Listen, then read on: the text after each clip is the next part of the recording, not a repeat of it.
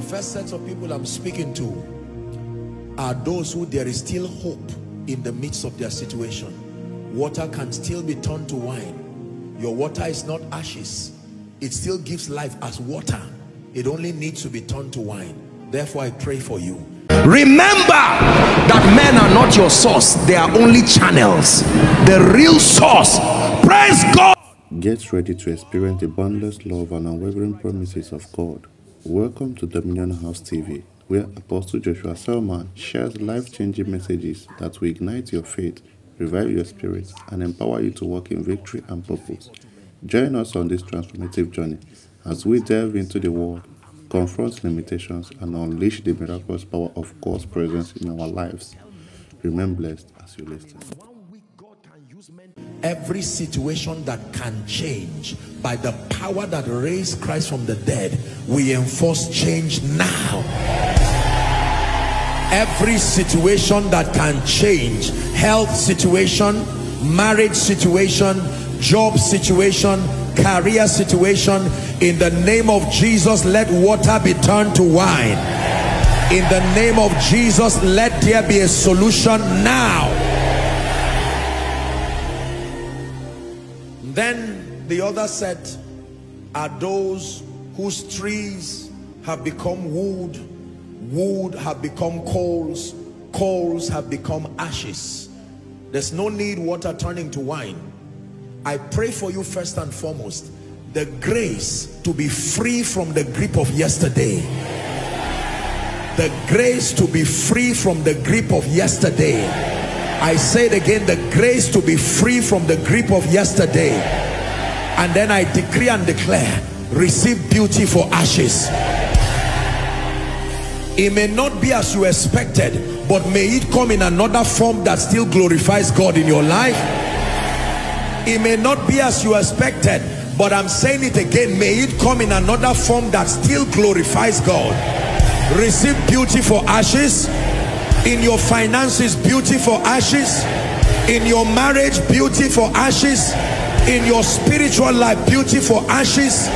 Over the testimony of your life beauty for ashes. In the name of Jesus Christ. I still pray that you will receive a garment of praise for the spirit of heaviness.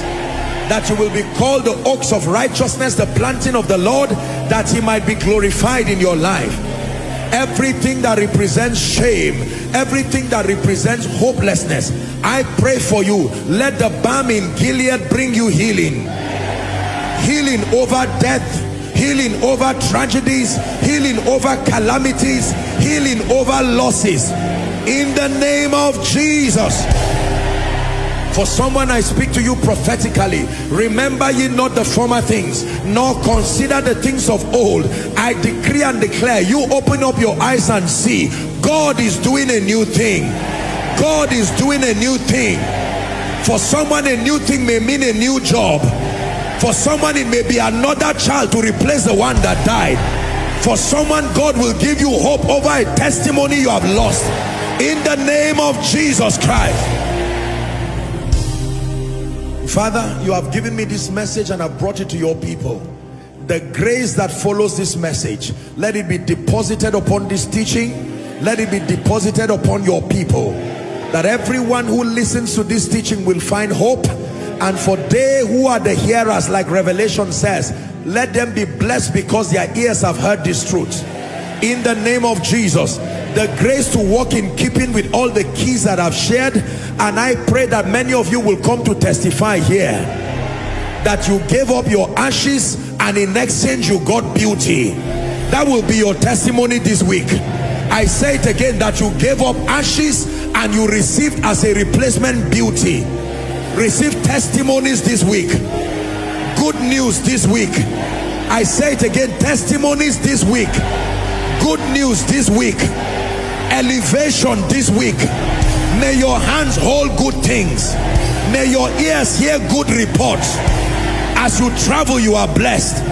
I declare safety for you. In Jesus mighty name we pray. Thank you for joining us in this powerful moment of worship and wisdom.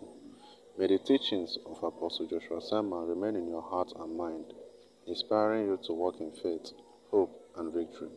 May God's presence continue to guide and empower you on your journey. Blessings and peace to you in Jesus' name.